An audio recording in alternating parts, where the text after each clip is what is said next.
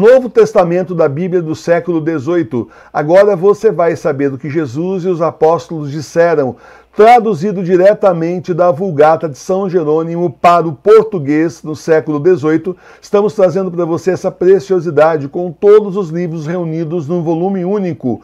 É uma exclusividade da nossa Edições Sagrada Face. Entra lá na nossa loja www.lojasagradaface.com.br e garanta o seu exemplar, tiragem limitada.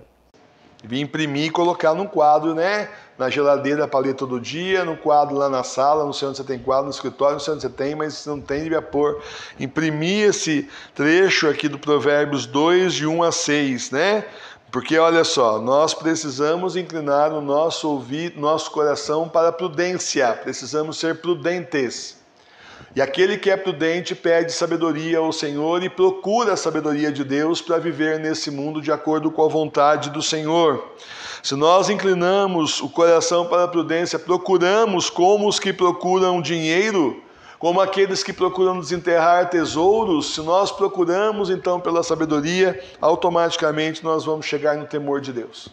Pessoa que tem sabedoria, que conhece realmente as Sagradas Escrituras, que é verdadeiramente católico, apostólico romano, sabe que tem o temor de Deus, tem que ter o santo temor de Deus. Isso a igreja sempre ensinou, claro.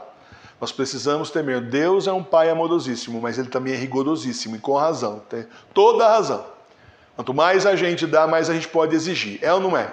Você dá muito para um filho, você pode exigir dele. Para nós foi dado muito. Para nós foi dado muito. Então, meus irmãos, é claro que o Senhor também pode exigir, é direito dele. Aliás, ele se esvaziou na cruz, dele próprio, morrendo até a última gota e o sangue saindo do seu coração, gota de sangue e água saindo do seu coração, até o final, se esgotou para nos perdoar, para pagar os nossos pecados, para nos salvar, abrir as portas do céu para nós. Então ele tem direito de exigir também tudo que ele quiser, e acho bom e pouco, porque a gente tem mesmo que ser mais fiel ao Senhor, mais e sempre, e temer ofender o Senhor com os nossos pecados. Pessoa então que tem prudência vai atrás da sabedoria e então encontra o temor do Senhor e aí acha a ciência de Deus. Essa é válida. Não é como a ciência vã dos homens aí, que depende de quem está pagando para saber que declaração que a pessoa vai dar. Hoje a ciência fala A, amanhã ela fala B. Exemplo, ovo faz mal para o colesterol. Eu cresci ouvindo isso. Ovo faz mal para o colesterol, massa engorda. Macarrão engorda. Hã? Agora, de repente, de uns tempos para cá, o ovo não faz mais mal e a massa não engorda. O que engorda é, é o molho de tomate. Eu, eu, tinha tanta vontade de rolar aqui na frente, de rir, rir, dessas coisas. Não vou fazer isso porque não tem joelho e pega a mão na frente do altar. Mas, sinceramente, né? é um absurdo. É um absurdo um negócio desse. Certo? Então, meus irmãos, essa é a ciência dos homens. Não tem nada a ver com a ciência de Deus, que é a verdadeira, a única e verdadeira, o conhecimento de Deus, o único e verdadeiro, necessário para a nossa salvação.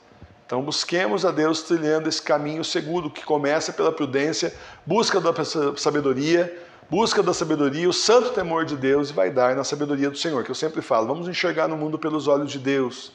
Não vamos enxergar no nosso nível aqui não, a gente enxerga muito pouco. Vamos enxergar pelos olhos de Deus. Pedir ao Senhor que eu possa enxergar pelos vossos olhos, Senhor. Ó, oh, como muda quando você vê pelos olhos de Deus como muda as coisas, você entende um mundo completamente diferente, percebe que nada do que você achava, estava falando, você estava interessado, você estava se preocupando, isso aqui não tem importância nenhuma.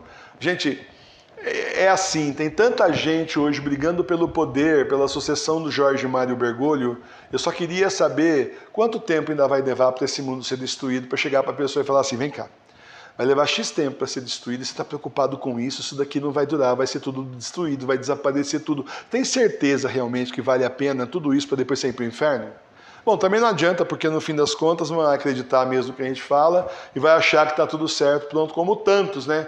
A gente denuncia visões aí que estão enganando os videntes ou que os videntes estão nos enganando, tem as duas situações. E não adianta, tem gente que entra lá xiita lá, é, imagina, que é isso? É, tem gente que entra lá fanático, eu acredito no fulano, eu acredito na fulana, é você que não sabe o que está falando, é você que está com o diabo. Tá bom, a gente prova, a gente, como se falava, mata a cobra e mostra o pau, mas não adianta, as pessoas não querem ouvir. Então, continuemos em frente, nós buscando a sabedoria de Deus. Louvado seja nosso Senhor Jesus Cristo. E a gente fala mesmo, o pessoal que está mais novo aqui saiba, vocês vieram para ouvir a verdade. A gente não está aqui para passar a mão na cabeça de ninguém, mas para falar o que o Senhor manda. Porque é assim, gente para ficar sorrindo o tempo todo, isso tem bastante na internet. Bastante da igreja falsa para mostrar, como a Madre Sofia falou, o clareamento do dente e enganar as pessoas aí tá cheio. Mas a gente aqui fala a verdade mesmo como na verdade seguindo a inspiração dos profetas que falaram também a verdade e doa quem doer e acontecesse o que acontecesse com eles, e eles foram mortos. Bom, o Senhor sabe de tudo, minha vida está na mão dele.